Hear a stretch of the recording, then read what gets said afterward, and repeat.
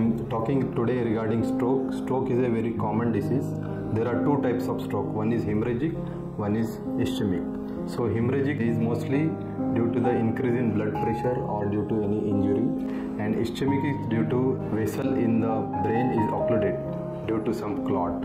So it causes the brain damage. Both the diseases are different. So management also different. For hemorrhagic, we have to control the BP, give some anti-edema measures. Sometimes may require surgery. For ischemic stroke, we have to control some BP. We have to monitor their blood pressure and we have to give some medicine.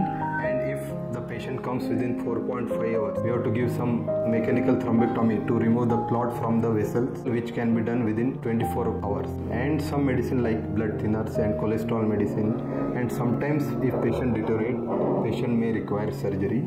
And remaining thing like physiotherapy, nursing care is also